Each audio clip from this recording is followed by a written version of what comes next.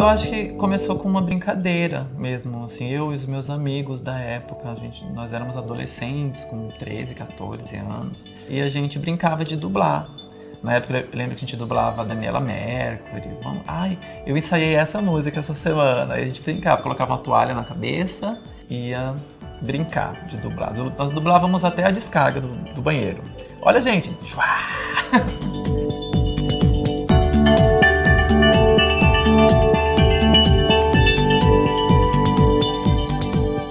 e a Sara começou a fazer show numa, numa festa de de lançamento de uma escola de samba em Cuiabá, que ia estar tá, tá se lançando. E aí eu conheci as pessoas certas da cidade que promoviam festas GLS e essas pessoas me apresentaram para outras pessoas que foram me ajudando com figurino, com, com maquiagem, porque eu não sabia nada, né? Então a drag para mim é isso, é, é, um personagem, mas ao mesmo tempo é um alter ego, assim. Tem muito de mim nela. Ela me dá visibilidade. Porque eu de Júnior, eu sou apenas o cabeleireiro, maquiador, né? Que eu posso influenciar com o meu discurso as minhas clientes, mas fica bem limitado. E a drag, eu posso estar mostrando o meu pensamento através dela, através da arte. Às vezes uma música que eu, uma dublagem que eu faço, uma performance, eu posso estar é, tocando o coração das pessoas através dela.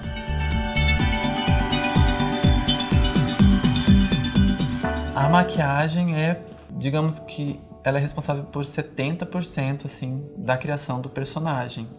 Então, para transformar esse rostinho aqui de homem, barbudinho, na Sara, tem que ter uma boa maquiagem, um bom contorno.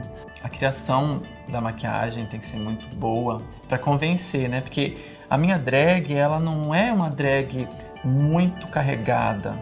Ela é uma drag mais feminina, mais voltada para a mulher, né?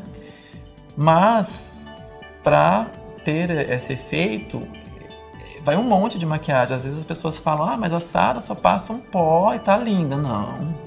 Tem todo um efeito, os truques do rosto tem que estar tá muito bem feito. Quando começa a se maquiar, é a hora que começa a vir assim uma coisa, vai descendo, que o personagem vai se criando ali. Antes mesmo de colocar a peruca, eu já sei que a Sara já, já está entre a gente.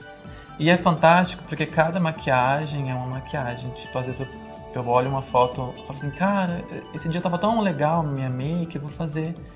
Vou fazer igual. Não consigo.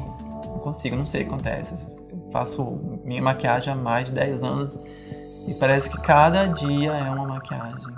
É meio que mágico, assim.